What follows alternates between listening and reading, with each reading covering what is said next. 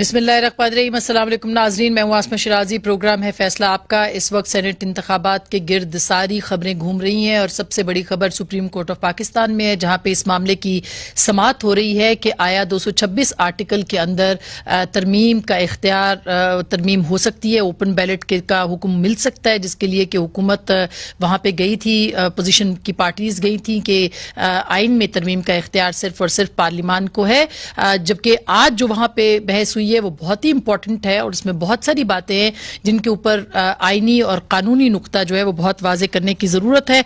आज जो जस्टिस एजाजुल एहसन साहब ने इसमें अपने रिमार्क्स दिए, उन्होंने कहा कि हर जमात को असम्बलियों में अपनी मुतनासिब नुमाइंदगी के लिहाज से नुमाइंदगी मिलनी चाहिए, वरना सिस्टम जाम हो जाएगा। ब्लैक लॉ डिक्शनरी मुतनासिब नुमाइंदगी की तारीफ़ बहुत वाजे करती है और अगर मुतनासिब नुमाइंदगी के असूल के मुताबिक नतज सामने नहीं आते तो जिम्मेदार इलेक्शन कमीशन होगा। वोट को खुफिया रखना कहीं भी लामहदूद नहीं हो सकता। उनका यह भी कहना था अटॉर्नी जनरल ने इस मौके पर कहा कि इस्लामाबाद में नोटों के बैग लेके लोग घूम रहे हैं, जो अदालत के फैसले का इंतज़ार कर रहे हैं। अटॉर्नी जनरल साहब मुनासिब होता कि अगर बताते कोर्ट को कि वो कौन से लोग हैं और उनको अदालत में पेश किया जाए, ताहम उन्होंने सिर्फ़ और सिर्फ़ ये दलाइल ही अपने दिए हैं। अगर मुतनासिब नुमाइंदगी चाहिए तो फिर सेनेट में इलेक्शन नहीं सिलेक्शन होगी। इलेक्शन कमीशन ने आज एक बहुत वाजे और दलेराना जो है वो अपना मौकफ इख्तियार किया और अपनी बात के ऊपर वो डटे रहे और उन्होंने कहा, सजील सवाती साहब ने कि अगर ऐसा होता है, मुतनासिब नुमाइंदगी होगी तो फिर ये सिलेक्शन होगा।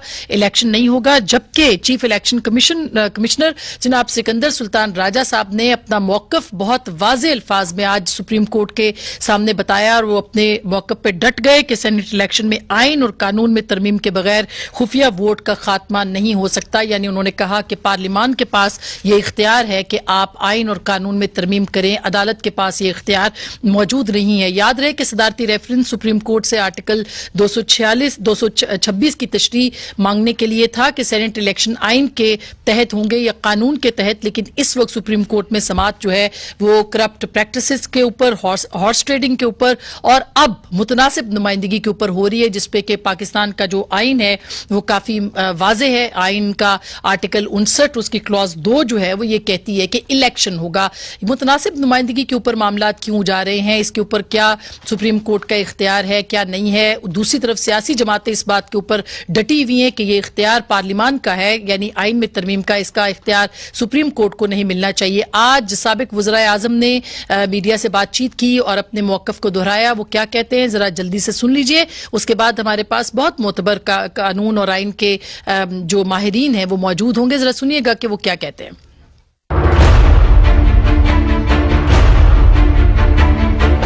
सेंटिटी ऑफ़ द पार्लियामेंट है। पार्लियामेंट का डोमेन है। जो ट्रैकोटमी ऑफ़ पावर है, उसकी रिस्पेक्ट होनी चाहिए। पार्लियामेंट का रोल किसी और के पास नहीं जाना चाहिए। पार्लियामेंट ही कॉम्पिटेंट अथॉरिटी है कि वो आइन में अमेंडमेंट कर सके। पैसे लेने वाले पीटीआई के, पैसे देने वाले पीटीआई के, खरीदने वाले भी पीटीआई के। ये तमाशे में मत दिखाएँ। आइन में तरमीम चाहिए पार्लियामेंट में लाएँ। किसी चोर दरवाजे से आइन को अमेंड करने की कोशिश की हम मुकम्मल मुखालफत करते हैं। ये ऑर्डिनेंस मुझे समझ नहीं आया। ऑर्डिनेंस कहता क्या है कि ओपन बैलेट होगा प्रोवाइडेड कोर्ट ये फैसला करे। मतलब मफरूजों पे ऑर्डिनेंस बनाना। मुझे पूरा यकीन है कि सुप्रीम कोर्ट इस पर सही फैसला करेगी। जो आइन कहता है, वो सीक्रेट बैलेट होना है। इस पे आइन और कानून क्या कहता है? हम आइनी माहरीन से ही बात करेंगे। हमारे साथ इस वक्त मौजूद हैं जनाब रशीद रिजवी साहब, जो कि सुप्रीम कोर्ट बार के सबक सदर भी हैं, हामिद हामिद खान साहब, जो कि पाकिस्तान तहरीक इंसाफ से ताल्लुक है, लेकिन बहुत जाने माने कानूनदान है, बहुत मोतबर आवाज़ें दोनों को बहुत खुश आमदीद कहते हैं। सबसे पहले हामिद खान साहब, आपके पास आना चाहती हूँ कि ये जो सुप्रीम कोर्ट में इस वक्त हो रहा है, क्या सुप्रीम कोर्ट के पास ये इख्तियार है कि वो आइन को अमेंड करे या उसकी तशरी का इख्तियार यकीनी तौर पर मौजूद है? तो क्या खुफिया बैलेट के ऊपर इतनी बहस जो थी वो मुतनासिब नुमाइंदगी तक कैसे पहुँच गई एक बहुत अहम सवाल है जो इस वक्त उठाया जा रहा है। हामिद खान साहब हमारे साथ हैं।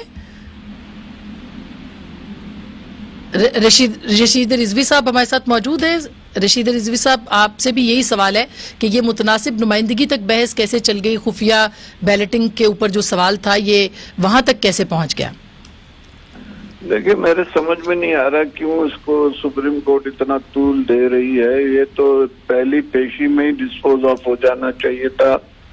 226 की तशरी कर देनी चाहिए थी उन्हें। चार लाइन का तो ये सवाल है। पता नहीं क्यों इसको इतना खींच रहे हैं। इसलिए कि अब बढ़ाने से देखें कॉन्स्टिट्यूशन अमेंड नहीं हो सकता कि मुतनासिब नुमाइंदगी का अब नहीं आइन में कहीं मुतनासिब नुमाइंदगी की बात नहीं की गई है। ये किसी का कॉन्स्टिट्यूशनल मैंडेट नहीं है किसी पॉलिटिकल पार्टी का।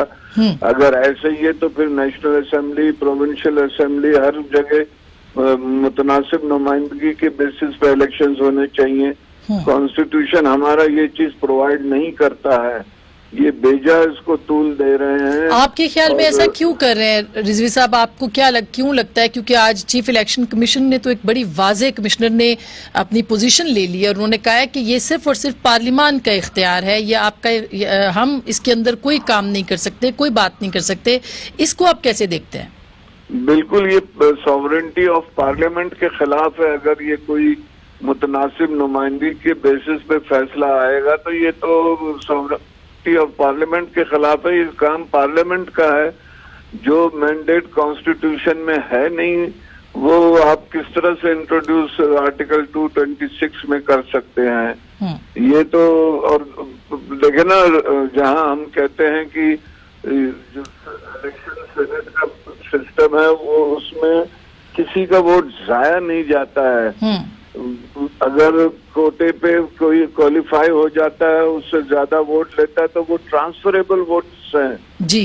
वो दूसरों को ट्रांसफ़र हो जाते हैं तो क्या शो ऑफ़ हैंड से आप ट्रांसफ़र वोट्स के भी वोट मांगेंगे? हम्म, किस तरह करेंगे? कोई प्रोसीजर नहीं है इन्होंने चार लाइन पे एक रेफरेंस बना के दे दिया है एक पेज का ऑर्डिनेंस बना दिया है कि अगर ये हो गया फैसला तो उसके उसमें होगा मैं समझता हूँ कि ये काम पार्लियामेंट का था जो उन्होंने छीन के अदलिया के ज़रिए करवाना चाह रहे हैं। हामिद खान साहब यही इस बात जो रिजवी साहब कह रहे हैं कि अगर ये चीन के अदलिया के पास गए तो अदलिया की क्या ज़िम्मेदारी बनती है कि वो इसको किस तरह से देखे, जिस तरह की बहस और रिमार्क्स वहाँ पे आ रहे हैं और इलेक्शन कमीशन एक ऑटोनमस बॉडी है, उसके उसके सरबराह को वहाँ पे बुला के जिस तरह के सवाल हो रहे हैं, क्या आपको लगता है कि ये उम्मीद रखी जाए कि ऐसा फैसला आएगा जो कि आइन और कानून के मुताबिक होगा? देखिए मैं समझता हूँ कि जैसे रिजवी साहब ने कहा मैं उनसे मुतफिक हूँ बिल्कुल गैर आईनी किस्म की ये सारी कार्रवाई है। हम्म, आइन बड़ा वादे है आर्टिकल 226 और आर्टिकल 59 पढ़ा जाए तो मुतनासब नुमाइंदगी के मुताबिक ही हो सकता है और वो सीक्रेट बैलेट से हो सकता है। हैरत की बात है कि रेफरेंस पहले बनता ही नहीं था भेजना। दूसरा सुप्रीम कोर्ट पे मैं हैरान हूँ। वो इतने से क्या सुन रहे हैं? क्या वो सीधी सादी अंग्रेज़ी नहीं पढ़ सकते? आर्टिकल 226 की। तो किस बात पे बहस सुन रहे हैं? किस बात के सवाल जवाब कर रहे हैं? अपना वक्त जाया कर रहे हैं? कौम का वक्त जाया कर रहे हैं? और बिल्कुल गैर ज़रूरी किस्म की ये बहस चल रही है। आइन वादे है। जब तक आईनी तरमीम नहीं होती, तब तक कोई ओपन बैलेटिंग नहीं हो सकती। तो फिर आप इसको किस नज़र से देखते हैं? क्यों सुप्रीम कोर्ट ऐसे कर रही है? क्योंकि ये तो बहुत मुतनाज़ा होने के मुतरदिफ है ये बात। अगर जो आप लोग, आप दोनों बहुत साहिब राय शख्सियात हैं, अगर ये ऐसा है तो ये तो मुतनाज़ा बनाने वाली बात है। बिल्कुल मुतनाज़ बना रहे हैं। सुप्रीम कोर्ट भी मुतनाज़ बन रही है। इस सारी बहस में इलेक्शन कमीशन को भी मुतनाज़ बनाया जा रहा है और लेजिस्लेशन के अंदाज को भी बनाया जा रहा है। जिस तरह ऑर्डिनेंस मेकिंग पावर को गलत इस्तेमाल किया गया है इस मकसद के लिए। तो लिहाजा हर तरह से जो बातें की गई हैं मुतनाज़ हैं। आपको खान साहब, क्या लगता है कि इसके बाद बार काउंसिल भी ज़ाहिर है इसके अंदर पटिशनर है, यानी वो भी फरीक हैं और वो कह रहे हैं कि हम इसको चैलेंज कर रहे हैं? कोई बार काउंसिल्स की तरफ़ से कोई एहतजाज हो सकता है, कोई एतराज़ आ सकते हैं, कोई किस तरह की सिचुएशन आप देख रहे हैं इस वक्त? अगर कोई फैसला ऐसा वैसा आता है तो। देखिए ना, अगर तो वो फैसला कोई ऐसा करते हैं जो कि आइन की शिकों वाजे शिकों के बखलाफ होता है तो वो सुप्रीम कोर्ट के लिए एक बहुत बड़ी एम्बेरसमेंट होगी। और बड़े अरसे के लिए एम्बेरसमेंट होगी। और ज़ाहिर है उसको भी चैलेंज तो लोग करेंगे ही चाहे वो बार काउंसिल करें चाहे कोई और बॉडीज करें। लेकिन ये फैसला ही बहुत मुतनाज़ होगा और सुप्रीम कोर्ट की इमेज के लिए अच्छा नहीं होगा। हम्म। तो करना क्या चाहिए रिजवी साहब? आपकी तरफ़ आती हूँ। क्या करना चाहिए हुकूमत को इस वक्त? क्योंकि ये शायद हुकूमत भी एक्सपेक्ट नहीं करी थी जिस तरफ़ बहस चल पड़ी है। और अदालत को क्या करना चाहिए? आसमा साहब मैंने तो पहले ही आपसे कहा था शुरू में ही कि ये पहले दिन ही हेयरिंग के फैसला हो जाना चाहिए था। इसको इतनी तूल देनी नहीं चाहिए थी कि मुतनासिब नुमाइंदगी का सवाल उठाया जाए और अटॉर्नी जनरल साहब कह रहे हैं कि लोग बक्सों में पैसे लिए ब्रीफ केस में घूम रहे हैं उनके नाम तो लेते नहीं है। इनकी एजेंसीज क्या काम कर रही हैं? ये कहते हैं हम मुल्क से करप्शन खत्म करना चाहते हैं। लोग और फिर खुद निशानदेही कर रहे हैं कि लोग करप्ट लोग ब्रीफ केस लेके घूम रहे उनके खिलाफ एक्शन नहीं ले रहे हैं। ये एक तो पता नहीं क्या मदारी का तमाशा चल रहा है मेरे समझ में नहीं आ रहा। ये तो एक दिन का मार था इस क्वेश्चन की। ठीक बात। बहुत बहुत शुक्रिया। Thank you so much Hamid Khan sahab, Rashid Rizvi साहब, किसी और वक्त आपके साथ तफसीली बातचीत होगी। मोहतरमान दलीब, अब्बास साहिबा, पाकिस्तान तहरीक इंसाफ से हमारे साथ यहाँ मौजूद है। रुकने को कौमी असम्बली है। बहुत बहुत शुक्रिया। हमारे साथ मौजूद होंगे जनाब मिफ्ता इसमाइल साहब, जो कि पाकिस्तान मुस्लिम लीग नवाज़ के जाने माने चेहरे हैं और सीन वफाकी वज़ीर भी रहे हैं। वज़ीर ममलिकत बरए खजाना। बहुत बहुत शुक्रिया मिफ्ता। आपका भी और सेंटर मुर्तजा वहाब साहब हमारे साथ मौजूद होंगे। पाकिस्तान पीपल्स पार्टी के सीनियर रहनुमा और इस वक्त सूबाई काबीना का हिस्सा है। आप सब लोगों का बहुत बहुत शुक्रिया। सबसे पहले मैं आपके पास आती हूँ, सेंटर मुर्तजा वहाब साहब, आपने गुफ्तु सुनी है और एक पोजीशन आपके सीएम ने भी आज ली है इसी मामले के ऊपर। आपको क्यों लगता है कि क्यों हुकूमत जो है वो चाहती है कि वो सीक्रेट बैलेट जो है, और अब तो खैर सीक्रेट बैलेट से बात मुतनासिब नुमाइंदगी और पता नहीं कहाँ कहाँ चली गई। क्या ये इख्तियार अगर सुप्रीम कोर्ट के पास नहीं है तो अटर्नी साहब का जो आपने मौकफ सुना है, वो किस बात की निशानदेही कर रहे हैं? बिस्मिल्लाहिर्रहमानिर्रहीम। आसमा सबसे पहले तो मैं इलेक्शन कमीशन ऑफ़ पाकिस्तान को खराज तहसीन पेश करना चाहूँगा कि चीफ इलेक्शन कमिश्नर कानून के साथ खड़े हुए पार्लियामान का जो इस्तेकाक है आइन साजी का कानून साजी का उसके साथ खड़े हुए।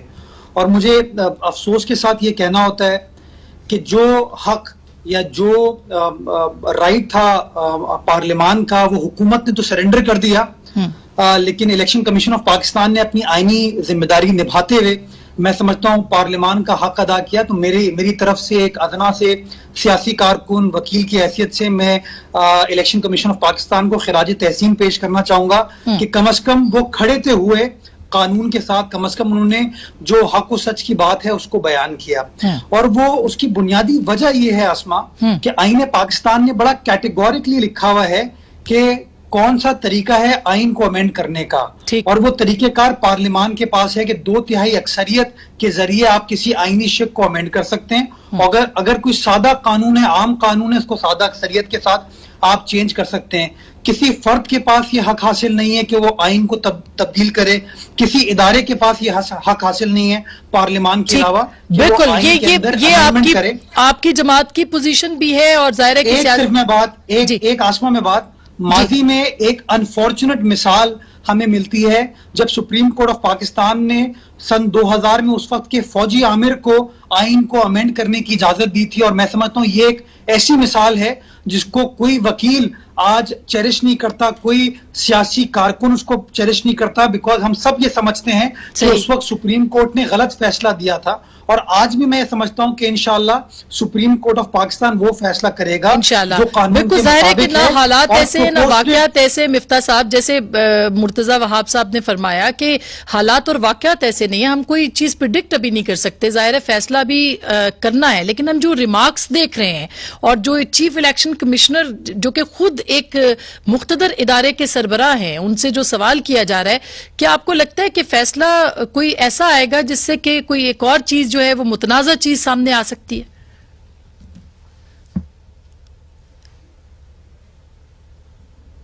जी, आवाज़ आवाज़ आप अनम्यूट अनम्यूट कीजिएगा। जी जी जी। जी मैं कह रहा था कि पास, पाकिस्तान के लिए एक बड़ा ये बुरा दिन होगा अगर खुदा न खास्ता फैसला ये आता है कि सुप्रीम कोर्ट जो है वो आइन की शिक को यूनिलेटरली अमेंड कर दे क्योंकि उसके पास इख्तियार नहीं है। फिर उसका मतलब है कि आइन का जो तकदस है वो आप पामाल कर रहे हैं फिर उसके बाद फिर क्या गुंजाइश है? फिर तो जिसकी जो मर्ज़ी है मतलब अगर आप आइन को भी अगर आप सेक्रेट नहीं कर रहे तो फिर आप अपनी मर्ज़ी पर तमाम कवानीन कर लें तमाम अपनी मर्ज़ी पर तमाम आइन की शिकें कर लें। कोई वजह है ना कि इसको आइन में आपने डाला था सीक्रेट बैलेट पे? वजह क्या है? बिल्कुल वजह क्या है देखिए ना देखें तीन तीन तीन तीन चीज़ें आपने सीक्रेट बैलेट में डाली थी नेशनल असेंबली का इलेक्शन प्रोविंशियल असेंबली का इलेक्शन और सेनेट का इलेक्शन क्योंकि ये फंडामेंटली डायरेक्ट इलेक्ट होते आते हैं। अगर आपको ये चेंज करना है तो आप असेंबली में लेके आए। मैं मिसाल के तौर पर एग्री करता हूँ कि ये चेंज होना चाहिए, लेकिन साथ साथ मैं ये भी कहता हूँ कि सेनेट का चेयरमैन का भी इलेक्शन चेंज होना चाहिए, जो कल शायद अब्बासी साहब ने भी बात करी कि ये अभी अजीब से आप पीटीआई लेक्चर दे रही है कि आपको बच्चों को कह रही है कि देखो ज़ोर की नमाज़ तक सच बोलो, उसके बाद झूठ बोलना शुरू करो। कि आधा इलेक्शन जो है, जो हमारे फेवर में आ रहा है उधर आप सीक्रेट बैलेट रखें और जो हमारी फेवर में नहीं जाएगा उधर आप ओपन बैलेट रख लें। दो बात यह है कि कहीं पर यह नहीं है कि आप पैसों से वोट खरीद सकते हैं वो इलीगल चीज़ है। अगर अटर्नी जनरल साहब ये फरमा रहे हैं कि पाकिस्तान में लोग डब्बे लेके घूम रहे हैं मिसाल के तौर पे अब्दुल कादिर साहब की बात करते हैं बलूचिस्तान में। खान साहब ने खुद वज़ीर ने कहा था कि पचास से सत्तर करोड़ रुपए का रेट चल रहा है। उनको पता नहीं कैसे पता चल लेकिन बहरहाल अगर वो ऐसी बात है तो उसके बाद फिर उनको पकड़ा जाए। वो तो गैर कानूनी ये बड़ा इंपॉर्टेंट क्वेश्चन है मिफ्ता साहब जो आप उठा रहे हैं कि अगर इतनी अंदली इंफॉर्मेशन है अटर्नी जनरल के पास वो कहते हैं कि पचास से सत्तर करोड़ आज उन्होंने कहा जी वो बैग्स में पैसे लेके भरे और हमें मालूम है। उन्होंने ये कहा हमें पता है कि वो लेके यहाँ बैठे हुए हैं। उनको गिरफ़्तार क्यों नहीं करते? उनको लाते क्यों नहीं है कोर्ट के सामने? शुक्रिया आसमा सबसे पहले तो आ, ये जो शो ऑफ़ हैंड्स है आ, सारी जमातें जो हैं तीस साल से कह रही हैं कि जी इसमें हॉर्स ट्रेडिंग होती है मानते हैं हम भी हम भी मानते हैं। फिर 2016 में नवाज़ शरीफ साहब ने कहा कि जी शो ऑफ़ हैंड्स कराना चाहिए लेकिन नहीं किया। हमने बहुत कहा नहीं हुआ, मान गए।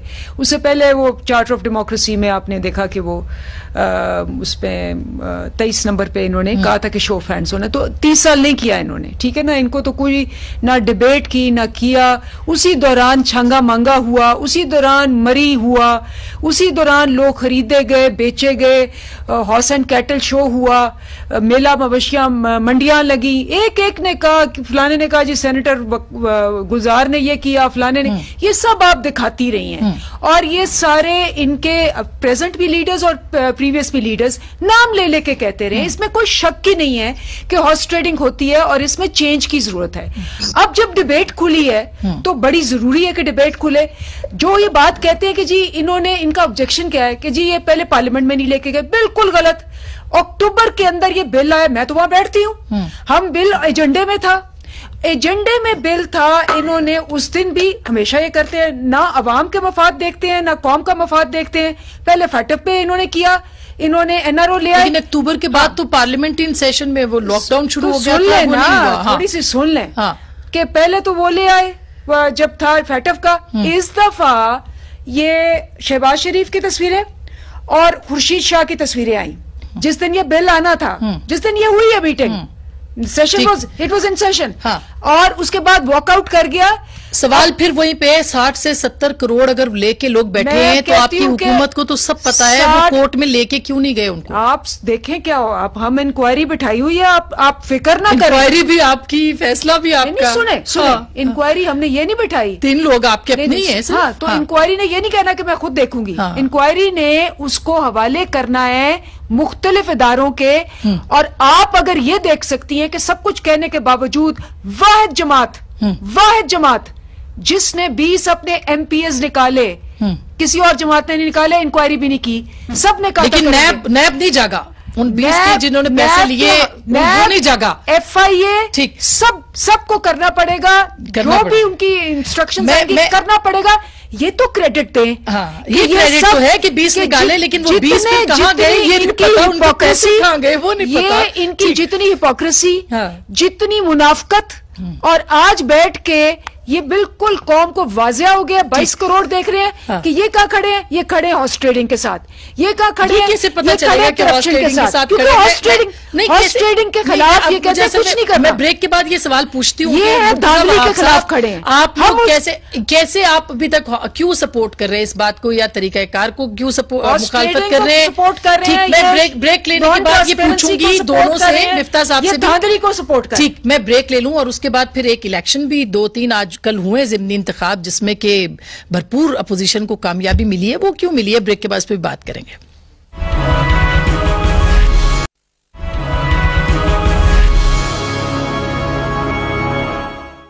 वेलकम बैक नाजरीन, एक दफ़ा फिर आपको खुश आमदीद कहते हैं। कल जिमनी इंतबात हुए थे और उन इंतबात में सिंध की दो जो सूबाई असम्बली की नशस्तें थी, वहाँ पे पीटीआई एक जगह पे तीसरी या चौथी पोजीशन पे है और बाकी भी काफ़ी कम वोटों के साथ चार हज़ार, छह हज़ार वोट लिए हैं और पशीन में भी जेयूआईएफ जीती है। मुर्तजा वहाब साहब, आप क्या कहेंगे कि क्या आपके ही लीडर ने कहा कि ये एक रेफरेंडम है जो कि हुआ है? हम कह सकते हैं तीन नशस्तों के ऊपर कि ये रेफरेंडम था? आसमा बिल्कुल मैं समझता हूँ रेफरेंडम था और उसकी वजह यह है कि अगर आप 2018 के मुकाबले में आ, 2021 के पीटीआई के वोट देखते हैं तो इतनी मेजर तनजुली आई है इतनी मेजर कमी आई है कि वो नज़र आ रहा है कि आवाम कितनी मायूस है पाकिस्तान तरीके इंसाफ से हाँ। जो मलिर की सीट थी वहाँ पर 2018 में पीटीआई को सोलह हज़ार वोट पड़े थे। अब की बार पीटीआई को सिर्फ़ साढ़े चार हज़ार वोट पड़े। तीसरी नंबर पे पीटीआई आई। सांगड़ के अंदर भी जो वोटों का डिफरेंस है, वो इतना ह्यूज है कि सांगड़ की आवाम ने भी शो किया कि वो मुतमिन नज़र नहीं आते पीटीआई की हुकूमत से। और पेशन की भी आपने एग्ज़ाम्पल दे दी कि जहाँ जहाँ हुकूमती अलायंस का और ऑपोजिशन के अलायंस का मुकाबला था, आपने देख लिया कि ऑपोजिशन का अलायंस जीता और भरपूर तरीके से जीता। ये शो करता है कि आवाम जो है वो हम्म। मायूस है पीटीआई से आवाम मायूस है पीटीआई की तर्ज हुक्मरानी से पीटीआई की स्टाइल ऑफ़ गवर्नेंस से उनकी स्टाइल ऑफ़ डेमोक्रेसी से और वो मायूसी का इजहार पाकिस्तान की आवाम जो है इन बाई इलेक्शन में कर रही है हम्म। अपने वोट के ज़रिए हम्म। और मैं समझता हूँ ये जो मायूसी है आवाम की वो ट्रिकल डाउन इफ़ेक्ट इनके M N As M P S के ऊपर भी आता है कि खान साहब कन्विंस्ड है कि अगर सीक्रेट बैलेट होगा तो उनका M N M P A उनकी एटीएम को वोट नहीं देगा। मगर आज तो कह रहे हैं कि अक्सरियत मिलेगी अगर सीक्रेट बैलेट हुआ और अपोजिशन जो है उसको पछताना तो फिर ठीक है फिर करके देख ले बिस्मिल्ला हम्म। पता चल जाएगा घबरा क्यों रहे हम्म। वज़ीर आज़म ने तो कहा था घबराना नहीं है। हम्म। तो घबरा क्यों रहे क्यों सुप्रीम कोर्ट को एक सियासी मामले में इन्वॉल्व कर रहे हैं? क्यों सुप्रीम कोर्ट को एक आइन साजी के मामले में कानून साजी अच्छा के ये मिफ्ता साहब ये बात अगर अपोजिशन को देखी जाए तो अपोजिशन भी ये बात तो भी दलीब ने ठीक कही कि वो कह रही है कि अगर ओपन है तो फिर आपको क्या एतराज़ है कि ओपन ना हो? अगर कोई मसला नहीं है तो आपको इस पर एतराज़ भी नहीं होना चाहिए। आपको कहना चाहिए था कि चले आए हम आपको ओपन इलेक्शन में कंटेस्ट करके बताते। कि दो गुजारिशात हैं। एक तो ये है हाँ। कि हम तो अपोजिशन तो कह चुकी थी एक जमाने में अपने चार्टर ऑफ़ डेमोक्रेसी में हम तो कहते हैं कि इसको ओपन होना चाहिए इसमें कोई बहस नहीं है हाँ। लेकिन आप आइन के आइन के खिलाफ तो नहीं कर सकते ना आप आइन को चेंज करें आप अपनी मर्ज़ी तो नहीं आइन के ऊपर अपनी मर्ज़ी तो मुसलत नहीं कर सकते हाँ। और दूसरा ही जब आप चेंज करने जा रहे हैं तो फिर आप रिफॉर्म्स की बात करेंगे कि फिर आपने देखा आसमा के सेनेट के इलेक्शन में इन्होंने किस तरह चोरी करी है सेनेट के अठारह के इलेक्शन में इन्होंने क्या किया है चेयरमैन के इलेक्शन में क्या किया है कि चौसठ लोगों ने हमारे जो था वो नो कॉन्फिडेंस करा था लेकिन पचास वोट मिले तो उस वक्त हॉर्स ट्रेडिंग खान साहब को नज़र नहीं आ रही थी हाँ। लेकिन बात वापस आई जो जो मुर्तजा ने बात करी कि सोलह हज़ार वोट से पीटीआई के चार हज़ार वोट पड़े। चार हज़ार कुछ वोट। हम्म। पिछहत्तर फ़ीसद वोट कम हो गया। इसकी वजह क्या है कि जो लोगों ने पीटीआई को वोट दिया था हम्म। उन्होंने कुछ पोस्ट दिया था ना कि कुछ तब्दीली आएगी कुछ बेहतरी आएगी।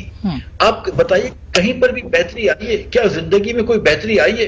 क्या लाहौर में आज आपको पूरा नज़र नहीं आता है सड़कों पे? क्या पंजाब हुकूमत जो है बेहतर चल रही है? क्या अद्वियात दवाइयों में फ्री मिल रही थी शहबाज शरीफ के जमाने में? उसको आप जो भी बुरा भला कह रहे हैं शहबाज शरीफ को। लेकिन दवाइयाँ फ्री दे रहा था दवाइयाँ फ्री मिल रही हैं गरीब। हम्म। क्या स्कूल ज़ाहिर अफरात तो है लेकिन वो कहते हैं कि ज़ाहिर इसकी जिम्मेदार आपकी हुकूमत भी रही है। इसी वजह से ये सब कुछ हुआ है। मैडम देखें हमने तो हमने तो देखें हमने तो इतना काम करके गए ना हमने तो मोटरवे बनाए रास्ते बनाए पेट्रोल अपने पावर हाउसेस लगाए हर चीज़ करी बिजली का पाकिस्तान में मसला खत्म कर दिया। इन्होंने आके मकरूज कर दिया इस कौम को बारह हज़ार पाँच सौ अरब रुपए निकाल दिए इन्होंने डाल दिए। आज मैंने वो करी भी है एक टॉक जिसमें मैंने बताया कि एक पैसा वापस नहीं किया ये गलत बयानी करते हैं कि हमने पैसा वापस किया सिर्फ़ पैसे रीरोल करें या चीन से लेकर सऊदी अरब को वापस कर दिया तो बोले हमने सऊदी अरब को पैसे वापस कर दिए। जी बिल्कुल आपने सऊदी अरब को पैसे वापस कर दिए लेकिन आपने चीन से पैसे लिए। अच्छा ये तो, अब ये ये जो बात कर रहे हैं मिफ्ता साहब ये जी। एक गुजारिश मेरी ये है कि इमरान खान के आने से क्या लोगों की ज़िंदगी बेहतर हुई है? छोड़ दें इस बात को ये इलेक्शन इलेक्शन की बातों को ये लेकिन ये क्या लोगों की बेहतरी हुई है? क्या इमरान खान अच्छा वो वो ये कह रहे हैं कि इमरान खान ये वोट जो इलेक्शन में आपने लूज किए दोनों तीनों वो इसलिए किए कि आपकी हुकूमत के आने का लोगों पे कोई असर नहीं पड़ा बल्कि ज़्यादा खराबी आई है और ये रेफरेंडम है आपके खिलाफ। अच्छा जी। आई होप आप मुझे भी उतना ही धामल से सुने जैसे आपने उन दोनों को सुना। है तो पहली बात तो ये है कि वो जैसे कह रहे हैं ना कि लोगों की ज़िंदगी में क्या फ़र्क पड़ा और ये हो गया और वो हो गया। तो कल ये मेरे साथ एक प्रोग्राम में थे। इन्होंने कहा जी पीआईए का बेड़ा गर्क कर दिया। पीआईए पाक स्टील का ये कर दिया। तो मैंने इनको कहा और उसके बाद ये चुप कर गए थे कि झूठ का कोई हद होती है मैं अभी भी ये कहती हूँ इन्होंने एज फाइनेंस मिनिस्टर कहा था कि पीआईए खरीद लें किसी ना किसी दाम पे मैं पाक स्टील मुफ़्त दे दूँगा। और कहा कि बेड़ा गर्क हो चुका है पीआईए का और पाक स्टील फिर इन्होंने कहा जी हमने और ये ऑन रिकॉर्ड है वो प्रोग्राम इन्होंने कहा जी नहीं पाक स्टील तो हम चलाते रहे थे। मैंने कहा पाक स्टील आपने बंद किया था मैं चैलेंज करती हूँ। कि आपने आठ साल उसकी अदायगी तक नहीं की थी। फिर ये चुप कर गए। अच्छा तीसरी बात ये है कि मैं मैं नहीं बोली इनकी। मैं इनकी बातों में नहीं बोली ये झूठ बोल रहे थे। ये झूठ बोल रहे थे मैं नहीं बोली। ये झूठ बोल रहे थे मैं नहीं बोली। मुझे खत्म करने दे। मैं मैं खत्म ये है मेरे पास ये पेपर है। ये ये मिफ्ता इस्माइल पेपर ये लिखा हुआ है Miftah Ismail offers to buy PIA अच्छा अब आपने आप मैं जवाब देती हूँ आपसे मिफ्ता साहब देखिए आपने ये बात कर ली जवाब भी सॉरी मैंने मैंने पूरी बात नहीं की इन्होंने इतनी गलत बातें की। अच्छा दो महीने पीछे चलते थे आपने भी वही किया है। आपने स्टील मिल को परमानेंटली बंद कर दिया हमने सिर्फ़ प्रोडक्शन ज़ीरो कर दी थी आ, आ, आ, वो वो कह रही है आपने ये स्टेटमेंट दिया था। अच्छा नाजरीन सुने। ठीक है नाजरीन सुने कह रहे हैं कि हमने प्रोडक्शन ज़ीरो कर दी थी आपने बंद कर दी है। ये जरा क्लास फोर में जाके किसी बच्चे से पूछे ये फाइनेंस मिनिस्टर ऑफ़ पाकिस्तान कह रहे हैं कि हमने प्रोडक्शन ज़ीरो कर दी थी आपने बंद कर अच्छा, दिया चले, मैं जवाब ले लूँ। ज़ीरो कर मैं जवाब। लेती हूँ आपसे, मिफ्ता साहब। सॉरी अच्छा, सॉरी इधर में आइए। लोगों को नौकरी से निकाल दिया है सेकंड, नौकरी से निकाला सुने, लोगों को नौकरी से नहीं निकाला हम तनख्वाह देते रहे अच्छा, आप ये गलत अच्छा, बयान कर रही है बना- हैं। मैं उसको- साहब ने कहा कि टाइम में तनख्वाह दी। गलत कर्जे हैं ये ये है मई सेकंड ठीक है, ये दो इदारों की बात हो रही है ना, मैं जवाब ले लूँ। मैं जवाब। नहीं, अंजलि, काफ़ी टाइम हो गया, काफ़ी टाइम हो गया, काफ़ी झूठ हो गया। बोला मेरे पास इनके फैक्ट्स ओके, हैं, मैं उनके झूठ का जवाब तो ले लूँ। ठीक है। मैं- ये कर्जे मैं ब्रेक के के बाद मिफ्ता साहब मुझे ब्रेक रिकॉर्ड कर्जे ब्रेक के बाद मिफ्ता साहब से जवाब लेते छोड़ के गए खुद इनका बयान है ठीक हो गया। आपका ये, पॉइंट है है। आपका ये पॉइंट है इसका हम जवाब लेते हैं। एक छोटी सी ब्रेक ब्रेक के बाद मिफ्ता साहब से इसका जवाब भी लेंगे और इसके साथ साथ क्या आगे वे फॉरवर्ड क्या है करना क्या है इस मुल्क को चलना कैसे है ब्रेक के बाद।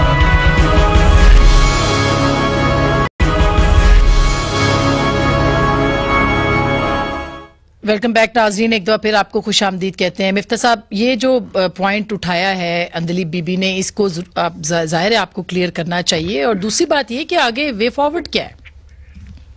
अच्छा जस्ट क्लियर ये कर देता हूँ कि हम हर महीने मुस्लिम लीग नून वाले जो हैं वो स्टील मिल के वर्करों को तनख्वाह देते रहे। ये कहना कि आठ साल तक हमने तनख्वाह नहीं दी।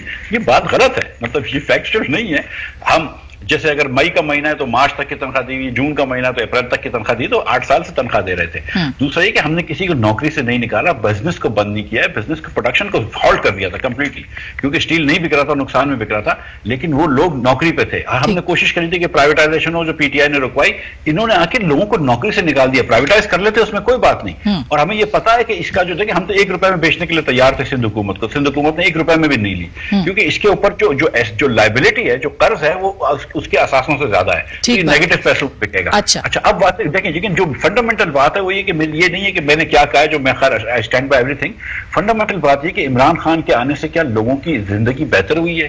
तो वो आंसर है नो और उसका जवाब आपको कराची में भी मिला है पिशीन में भी मिला है दीगर जगहों पर मिला है। और आपको इंशाल्लाह एक दो दिन में और पंजाब में मिलेगा। मुर्तजा, क्या ये- इतनी सी बात आखिरी बात। क्या आटा सस्ता हुआ है? क्या चीनी सस्ती हुई है? क्या आप लोगों को अद्वियात सस्ती हुई हैं?